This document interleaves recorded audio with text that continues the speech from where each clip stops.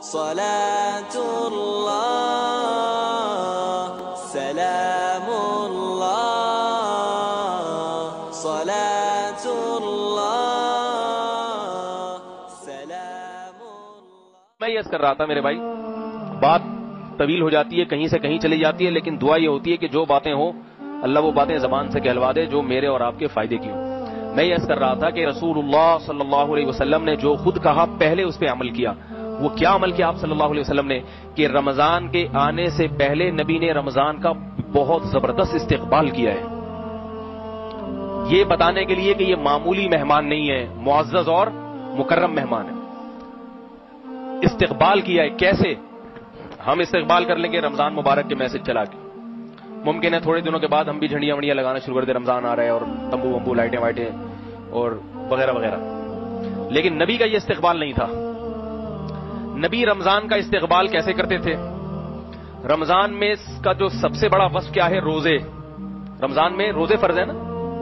تو نبی شابان سے ہی روزے رکھنا شروع کر دیتے تھے۔ نبی کیا کرتے تھے؟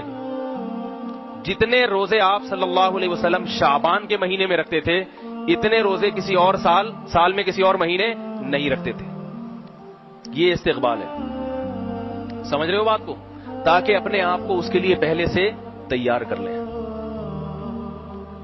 ہم نہیں رکھتے رم شابان میں روزے اور یہ نبی کی شفقت کہ امت خود کیا کیا، آپ صلی اللہ علیہ وسلم نے شابان کے روزے رکھے کثرت سے، مگر امت کو کہا کہ نصف شابان کے بعد روزے مت رکھو۔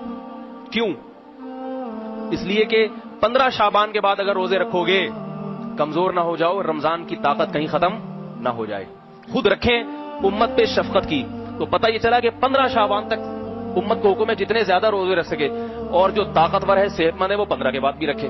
مگر ہمارے ہاں کا نہ طاقتور رکھ رہا ہے، نہ کمزور رکھے وہ رمضان میں نہیں رکھتا، ادھر پہلے کیا رکھے گا وہ؟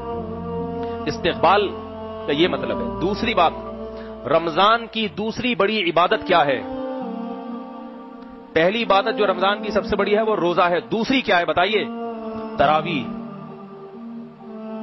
تراوی تراوی میں قرآن کی تلاوت ہوتی ہے تو رمضان کے آنے سے پہلے شابان کے مہینے میں ہی تہجد کا اہتمام شروع کر دیا جائے اور تلاوت کی کثرت شروع کر دی جائے۔ سمجھ میں آ رہی ہے بات؟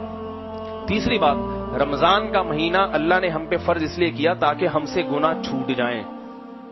تاکہ ہم سے گنا چھوٹ جائیں۔ تو شابان میں ہی گناہوں سے اجتناب کرنا شروع کر دیا تاکہ رمضان تک پہنچتے پہنچتے سارے گنا چھوٹ جائیں۔ جو جس برائی میں مبتلا ہے، شابان ہی سے اس برائی کو چھوڑنے کی کوشش شروع کر دے۔ سمجھ میں آ رہی ہے بات؟ یہ تین کام کرنے کس مہینے میں؟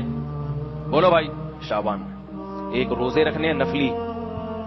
نمبر دو، رات کو تحجد کی تھوڑی سی ہمت کرنی ہے۔ اور نمبر تین، گناہوں سے بچنے کی گناہ کسے کہتے ہیں؟ بد نظری ہے۔ آج کل انٹرنیٹ پر بہت بےحدہ چیزیں دیکھی جا رہی ہیں۔ جوان آدمی اپنے آپ کو ان چیزوں سے بچانے کی کوشش کرے۔ ماں باپ کی نافرمانی بہت ہو رہی ہے گھروں میں۔ باپ کا احترام ہی نکل گیا ہے۔ ماں کا تو پھر بھی تھوڑا سا کر لیتے ہیں، کیونکہ ماں جو ہے نا آگے سے، وہ بیچاری کمزور ہوتی ہے، ڈرتی ہے اولاد کے سامنے۔ باپ چونکہ جواب دیتا ہے تو پھر یہ آگے سے ڈبل بھر کے اس کو جواب دیتے ہیں۔ اس لیے باپ کا احترام ذرا مشکل ہوتا ہے، کیونکہ باپ سنا دیتا ہے کھری کھری۔ تو آپ میں برداشت ہے نہیں، آپ اس سے زیادہ کھری کھری سنا دیں گے اس کو۔ تو ابھی سے کنٹرول کریں۔ یہ یقین کر لیں کہ یہ میرا باپ ہے۔ اس کی پیشانی پر اگر میں نے محبت کی نگاہ ڈالی، ایک حج اور عمرے کا ثواب ملے گا۔